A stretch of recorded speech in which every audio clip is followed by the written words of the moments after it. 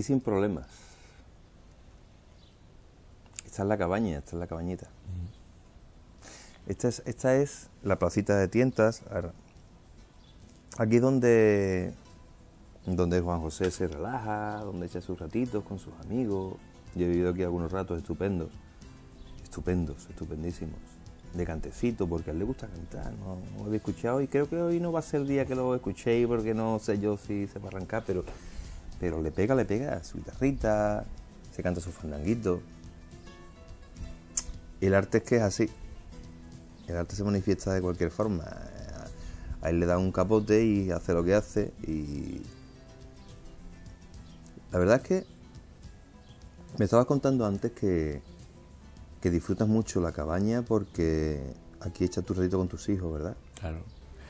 Bueno, tú la conoces bien y muchos de los que nos estén viendo seguramente la habrán visitado incluso. Este es mi rincón donde he tenido la oportunidad, donde tengo la oportunidad de disfrutar muchísimo con mi familia, con mis grandes amigos, de mi gran otra pasión, que es la cultura del flamenco. Te gusta, te gusta, De lo sus sé. Yo, raíces. yo te, yo te he escuchado. ¿eh? Efectivamente, de sus Yo he raíces. tenido- ¿no? Sobre yo todo, te he escuchado. Yo he sido algunas veces un No, no, no, no lo apunta mal, ¿eh? No lo Un apunta poco, mal, ¿eh? pues no lo apunta mal el flamenco, ¿eh? Yo lo que he sido un, un fam- un intruso, pero me lo han permitido mis amigos. No, no, y, que va, que va. Y bueno, yo he disfrutado mucho de, de grandes noches con Moraito de Jerez, en paz descanse, con Diego, Diego Carrasco, Fernando de la Morena, eh, Vicente Soto Sordera, con los grandes, los grandes de, de mi tierra, y- y de San Lucas. Y, te, qued- y te quedas corto. Y bueno, hay muchísimos toreros, tú lo sabes, que han venido Por ahí que ha pasado. muchísimo y, y he tenido esa, esa oportunidad de, Yo he vivido aquí noches contigo, con David María. con mi hermano David, que también hemos pasado, Claro. bueno, fíjate qué momento más bonito con el barrio también, Barrio. Celu, con mis Carlota de la Sal de San Lucas, o sea que, que- con Manolo Horta, con muchísimos artistas que han pasado por aquí. A todo esto, ahora que dices lo de San Lucas. San Lucas para ti ha sido. Claro, tú eres jerezano, ¿no? Pero, pero, pero eres sanluqueño ya casi de adopción, ¿no? Me siento- San Lucas para ti ha sido muy importante, sí, ¿no? Sí, sí. Sí, fíjate, bueno, mis hijos se han criado ya aquí y nacieron prácticamente, nacieron en Jerez, pero aquí. Yo vine aquí por circunstancias profesionales, ¿no? Como todo el mundo conoce, ¿no? Una, una tierra en la que acoge a los toreros, una tierra de mucha disciplina, de un entrenamiento básicamente estricto y, y con, con una intensidad fuera de lo común. Y por eso vine, porque en esa época estaba el maestro Litri, estaba el Tato, estaba Pepín Liria, había muchísimos toreros. Diego Robles estaba al frente de todo ello, una persona Y sigue, ¿no? Y sigue. Sí, no, fíjate, sigue, sigue, y, sigue. gracias a Dios pues eh, forma parte de- del apoderamiento con, con Matilla eh, en, mi, en mi vida profesional y en un principio pues, no, no, íbamos, no imaginaba nunca que iba, que, iba, que iba a ser mi apoderado. Por eso vine. Ya luego pues, mm, pues me sentía a gusto aquí en esta tierra, en Sanlúcar, por los entrenamientos, por la preparación, por esa entrada del río Guadalquivir, era una inspiración, algo especial. Yo nunca dejo de reconocer la esencia de, mi, de la tierra que me vio nacer, de Jerez de la Frontera, y a la que además tengo una casa en Jerez y frecuento muchísimo. Vivo en Jerez también mucho, mucha parte de- del año, me voy mucho a Jerez.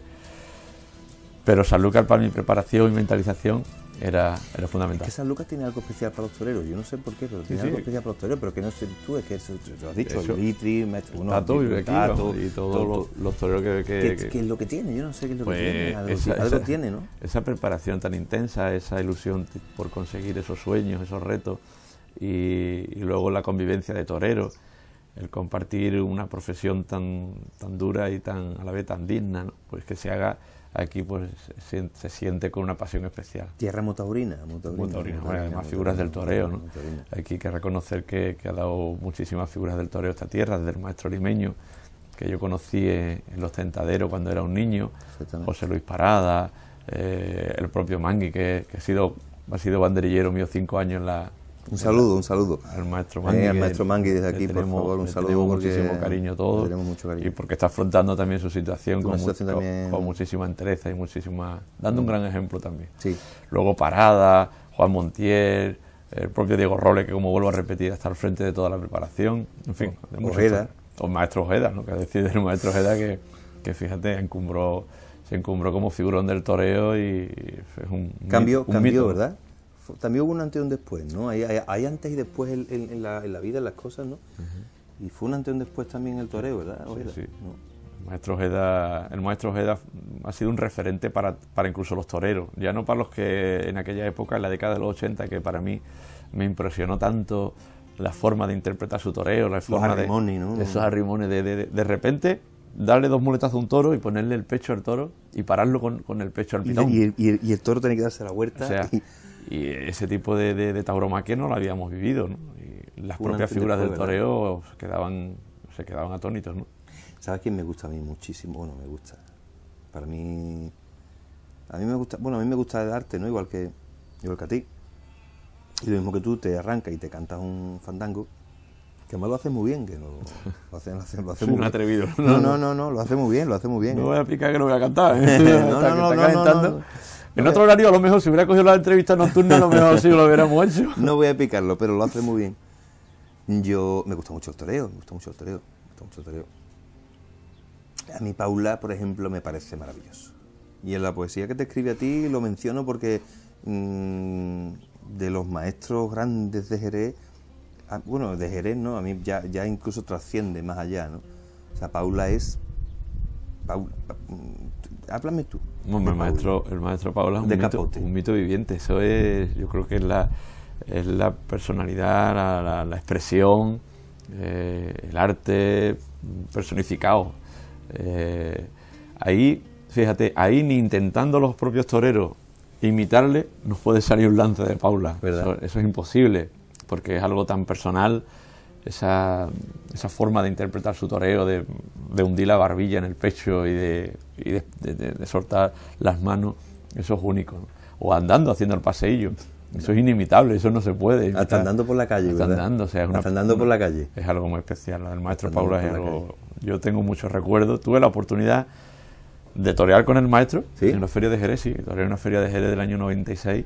Y además, fíjate, yo corté tres orejas. Y ese día el maestro, en el cuarto toro, le dio por forma uno de esos ríos suyos y soltar la mano izquierda y de frente. Y aquello fue. o sea, si, si glorioso fue el triunfo mío, más glorioso fue que el maestro triunfara ¿Y no cortó nada? cortó dos orejas, sí. Ah, también cortó dos orejas. Salí, corté dos orejas también. Fue una tarde gloriosa y la recuerdo con un gran cariño. Y tuve la oportunidad de niño, pues hacerme fotografías con él, al lado de él, mirándolo hacia arriba, como, como, como el dios del toreo. Qué suerte he tenido en, en tener en esa época de los años 80, cuando yo iba a la Plaza de Toro, a las Corraletas, al patio cuadrilla, y donde para mí esos grandes toreros los idolatraban, ¿no? Como, como sigo idolatrándolo a, todo el que se viste de luces, ¿no? Pero, pero aquella época pues fue muy especial. Pero tú te digo una cosa, Juan. Yo te estoy viendo torear últimamente. Yo te sigo desde de muchos años ya. Igual que todos los que nos están viendo. Pero te vemos torear últimamente de una forma distinta. Bueno, Ah, es con- estás con- Ahí. según mi, mi- mi forma de verlo, que yo soy un profano, ¿eh? igual que tú dices que tú cantas los fandangos porque te cantas la boca, y sí. es mentira, que los cantas muy bien, yo soy un profano en esto. Pero te veo torear con una profundidad últimamente y, y- y- y como sueltas el capote y- es la oportunidad también que tengo con este tipo de corridas. Juan También- también- también, que lo hablábamos antes con el tipo de corrida que mataba de Miura, de Vitorino, de Cebada. Ese tipo de encaste era una defensa delante del toro más que torear. O sea, no podía interpretar el toreo con profundidad, con gusto, y era difícil. Con lo cual los, los- los públicos entendían que, que- que no podría haber una belleza a lo mejor en, la, en tu tauromaquia. La tauromaquia se, se compone cuando un toro colabora y quiere coger la muleta desde adelante hasta el final, ¿no? Entonces en esta, en esta etapa de mi vida, segunda de, de- después de este percance, pues lógicamente los toros ayudan mucho o más. sea, hay un antes y Claro, un después. claro. Ese Es tipo de toro, Hay, hay un antes y un después, ¿no? hay un tipo de toro En que, que- Zaragoza. claro, después de A todos Zaragoza. los niveles, no solamente a nivel personal, a nivel Eso lo humano, tenía. sino a nivel... Me alegro que me hayas preguntado porque eso lo tenía siempre guardado. Yo siempre he entendido con el toreo con profundidad y con gusto y, en fin, cada uno te no debe de te perder tocaban su- los vestiajos que te tocaban Claro. y tenía que, La que- que- identidad de que uno- matarlo y encima los mataba. Claro, Es decir, no había que, matarlo. ojo, ojo. y había que, que- que- que, bueno, que sacar tu identidad, había que sacar tu personalidad y luego pues, pues tu vocación y tu ilusión. Pero en este tipo de toros me dan un porcentaje muy, muy alto de toros, me dan mayor oportunidades de expresarme. Y tú estás disfrutando, ¿no? mucho ahora ahora eh, pues estoy eh, Estoy, Esto estoy no es viviendo torear un niño del cubillo, torear un... Claro, no, estas ganaderías son diferentes por lo- la forma de, de, de- de la embestida suya, la forma de, de terminar el recorrido del el toro, ¿no? Claro, claro, claro, claro. Ese tipo de, de embestida, pues ya te, te dejan relajarte un poco más si cabe, ¿no? No dejo de reconocer que, que no es tampoco nada fácil por los encastes como, como embisten, pero es diferente. Y Juan, si, si Martín dijera un día que querías, o, o no, o, o tu niña, da igual, dijera que querías, que quieren ser toreros, tú como... Bueno, yo... Esa es la típica, la típica pregunta, pero que es que hay que claro, hacerla normal. porque... Viviendo en casa de un torero y la- Claro. lo que su padre lógicamente sigue, pero yo no, no tendría nada más que medios que, que- que ponerle, aportarle para que para que le, le hiciera fácil su, su carrera, ¿no? Algo que conozco, estuviera en mis, en mis manos, pues se lo daría todo y le aportaría el máximo. ¿no? Que yo le haría primero entender y saber que... Sufriría Estela, ¿no? Mucho, mucho. Sufriría Estela, Sufriría mucho, pero no dejo de reconocer Que tú también que lo has sería- hecho. ¿no? y que sería una pasión también Y que- grandísima, ¿no? Que tu, claro. torero- tu hijo se vista de torero y tú estés en un patio cuadrilla, en un callejón con él, o es una profesión muy dura, ¿no? Pero si decide ser torero, yo tengo que ayudarle. Igual que yo, yo he visto a tu padre. Claro. He visto a tu padre cómo está contigo, tú eh, vistiéndote en el hotel. Ver la cara de ese hombre. Ver la cara de ese hombre. Su padre, su señor padre. De satisfacción, de alegría. Hombre, lógicamente también de responsabilidad y de miedo porque se va a enfrentar a la muerte. Pero es una expresión especial, yo la entiendo, yo entiendo que igual que si mis niños dicen que mañana y mañana eh, si dicen que quieren ser cantantes, yo les, yo soy compositor, yo les escribiría las canciones, yo les las produciría y yo pero es una cosa distinta, es muy distinta, es muy distinta. Yo sé que Juan es una persona mm, muy creyente, muy creyente. Yo creo que tiene que ser indispensable para un torero. Yo no sé si hay algún torero que sea ateo, no lo sé. Respeto a todo el mundo, lógicamente. Pero para ti la fe es algo muy importante, ¿no, Juan? Yo siempre me he apoyado en la fe en todos los momentos, en los momentos profesional y personal, ¿no? Soy una persona que no concibo mi vida sin la presencia del Altísimo. Y, y siempre se lo he brindado todo y he dedicado todo. Y si, bueno, pues en alguna ocasión le he pedido, lógicamente, ha sido por, por, crearme y labrarme un camino en el que pudiera concebir también paz y felicidad, y estoy consiguiendo, pues, lógicamente, pues quizás esos resultados. Me siento, me siento feliz, me siento, me siento espiritualmente tranquilo en ese aspecto cuando hablo con Dios. Momento espiritual, momento espiritual. Yo también, ¿eh? yo es que me identifico mucho con él porque sabes que compartimos muchas cosas, los dos. Y, y de manías, ¿cómo andamos? Bueno, ¿Qué manías antes de salir a...? no o- soy. no yo tengo mis manías también, ¿eh? Yo, pues, Yo no soy tengo- torero de muy, muchas manías. ¿No? No, ni, ni supersticiones. Pasa No, que no. intentamos de, de llevar una vida lo más eh, normal. En el toreo sí es verdad que existe ese tipo de circunstancias en, en la, eh, por liturgia y los toreros y eh, dicen muchas cosas de, de la montera, dicen muchas cosas del traje de luces, en fin, hay muchísimos tipos de... Pero luego los toreros en definitiva no somos muy maniáticos. No, nos Yo- gusta guardar siempre, perdona, u- Sí, un ritual, tipo, ¿no? un tipo de rituales, ¿no? A mí me gustan, por ejemplo, las habitaciones altas en los hoteles. pero- Sí, por- fíjate, por, no por- sé por por- manía. una- sí, sí, es mi pa- no, sí, yo- una cuestión que dice, mi bueno, manía, pues me gusta, entiendo, pero no porque las cosas vayan a salir ni mejor ni peor. No, simplemente una cuestión personal. ¿Te Porque gusta? luego cuando no toreo voy a un hotel y me voy siempre a la habitación más alta también. Sí, ¿no? O sea que es una cuestión de personas. A Juan José Padilla le gustan las habitaciones altas en los hoteles. Atención a los directores de los hoteles, ¿eh? No vayáis a fallar. Ya lo sabes mucho, ya cuando como repetimos muchos sitios ya lo sabes. Juan José, ¿por qué se llama tu casa Puerta Gallola 2002? Concretamente. Pues mira, yo me vine a San Lucas a vivir en el año 97. Me vine a una casita alquilada ahí a la, a la calle, la- a la banda de la playa. Ahí cerquita de la playa, una casita alquilé. Al ladito, al ladito donde vivo yo. Sí, y ahí estuve tres, tres- tres meses hasta que me compré un duplecito eh, eh, en Villagracia. Y ya en Villagracia pues empezaba ya a verle un poco de color a, a las circunstancias, a mi profesión. Entonces invertí aquí en este terreno y aquí pues decidí hacerme mi casa. ¿no? Esta casa pues fue en ese año en el que me fui de las 54 tardes, 51 a Puerta Gallola. Entonces tendría que tener el nombre al fruto, ¿no? De, quizá de esa temporada, ¿no? Fue a base de, de Puerta Gallola, ¿no? Lo que conseguí. Esa temporada fue una temporada gloriosa, llena de éxito, llena de esfuerzo y gracias a esa temporada y a otras siguientes pues vino vino los frutos, ¿no? Vino Te lo ganaste con dos. Con con, dos. con la Puerta Gallola. Con dos. Con la Puerta Gallola me lo gané, y ¿no? se lo ganó con dos. Por eso le puse 2002 Puerta Gallola, ¿no? Había sido dos temporadas, la del 2000-2001, fundamentalmente para mí importante en mi carrera y, y debía de, de alguna forma homenajear también a eso. Dicen que, dice, dicen, es un, es un tópico, ¿no? Dicen que es un tópico que hay más cornas de alambre. Eso lo decía el maestro el cordobés, puede ser, que más cornas de alambre. No es su caso porque, eh, bueno, tú yo sé que tú eres de una familia acomodada, normal, trabajadora, Trabajadora humilde y no ha faltado nunca en cierto, casa nada. Gracias a Dios nunca. Mi padre para eso ha sido un hombre... panadero.